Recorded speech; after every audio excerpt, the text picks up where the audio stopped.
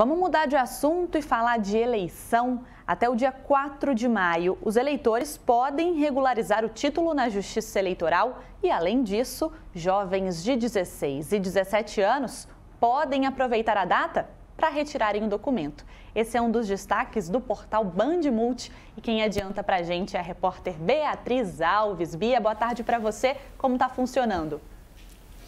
Oi, Bárbara, muito boa tarde para você e para quem nos acompanha. Destaque importante no nosso portal Bandimute de hoje, viu? O prazo limite para tirar o título de eleitor termina no dia 4 de maio. Jovens de 16 até 18 anos que ainda não têm título precisam solicitar a emissão do documento.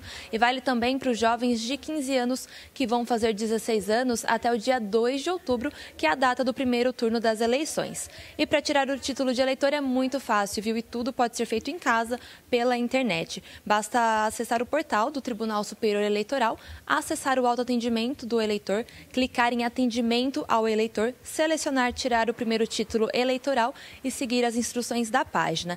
E esse prazo vale também, Bárbara, como você disse, para quem precisa transferir ou regularizar o título de eleitor, caso tenha né, alguma pendência. Os eleitores com dúvida podem checar a situação do título no aplicativo e-título, disponível em todos os sistemas operacionais. Lembrando Lembrando que quem não estiver com o título de eleitor em dia não poderá votar para presidente, governador, senador e deputados federal e estadual nesse ano. Eu volto com você, Bárbara.